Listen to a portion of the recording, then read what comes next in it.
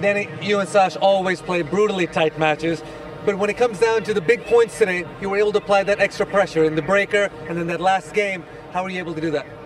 Yeah, if, I don't know if it's even extra pressure, but uh, the court kind of puts pressure, especially when we play against Sasha. We both have big serves. So in general, I think if we take games, uh, maybe out of 10 games we played uh, each on serve or maybe more, seven would be kind of easy. And then the other three is where the tightness is there and you try to put pressure on your opponent.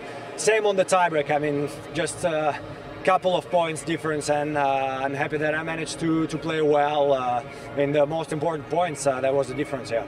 You mentioned the court there. Carlos said, you know, it's weird that we play on slower courts all year, then it's very fast here. Do you think this should possibly be slower or we should have some faster courts also throughout the year? I think I agree with him that it's weird that this one is so fast. But what is weird is that the other ones are so slow. Like Paris Bercy was, was was unbelievable. Like I played with Grigor, I mean it was a great match. He made finals.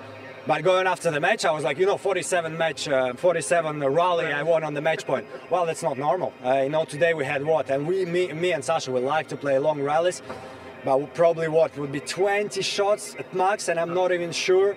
And I think it's good that we have some slow hard courts, even if I don't like it.